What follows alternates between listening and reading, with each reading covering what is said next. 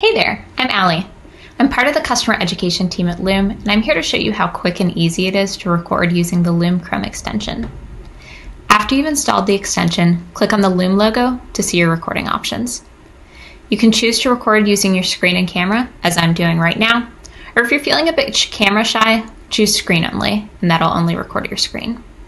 You can also choose camera only to only record your face.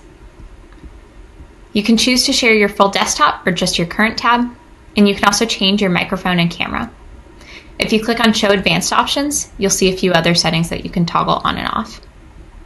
Once you're ready to record, you'll choose the screen that you want to share, and you'll be prompted by a countdown so you can take a second to gather your thoughts. Now you're recording. Once you're satisfied with your recording and you're ready to share and edit your video, click on the Finish Recording button. This will instantly take you to your video so you can make any edits and share it.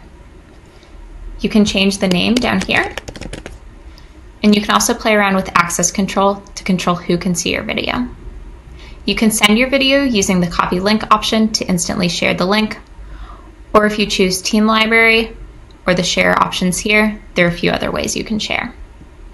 If you scroll down to edit your video, you can play around with some other settings or trim your video or if you're on a Loom business or enterprise plan, you can add a call to action or a custom thumbnail.